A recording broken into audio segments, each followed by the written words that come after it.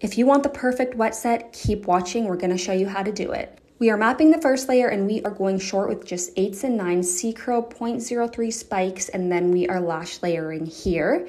And then we're gonna go ahead and map that top layer and we're gonna go just a little bit longer, but not too long with D-Curl 0.05 spikes. So many of you ask how we make our spikes, so we're gonna show you. When you go in, you're not gonna count how many individual lashes there are. You're just gonna go in and grab about one to two millimeters worth of spikes and then you're gonna dip it and place it on the natural lash.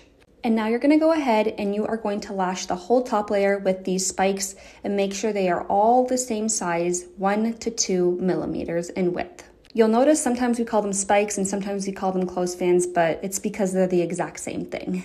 Just finishing up the top layer here and then we are going to rip that gel pad off very gently and expose all those bottom lashes as you can see right here.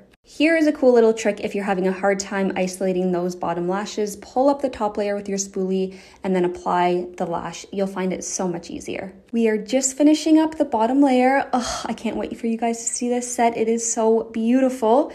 So just take that gel pad off, make sure you fan and then nano mist to cure that adhesive.